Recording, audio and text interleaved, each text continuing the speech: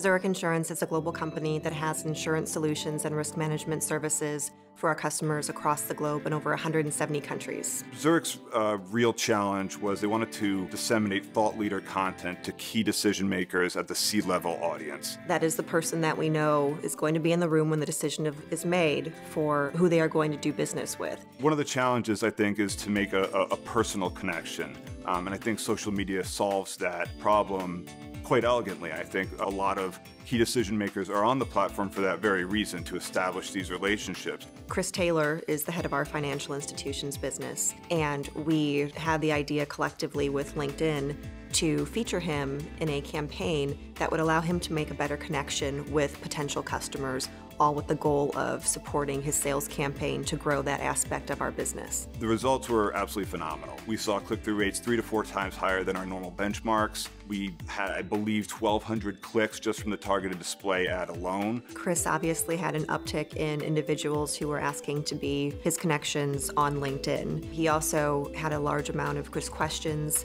and inquiries about Zurich's offerings and services in the financial institutions sector. And these are key, highly targeted C-level decision makers connecting directly with Zurich's head of financial institutions. At Zurich, we see LinkedIn as a conduit through which we can push our thought leadership efforts. It's a way for us to be at the top of mind and at the top of the feed for all of the individuals who are following us.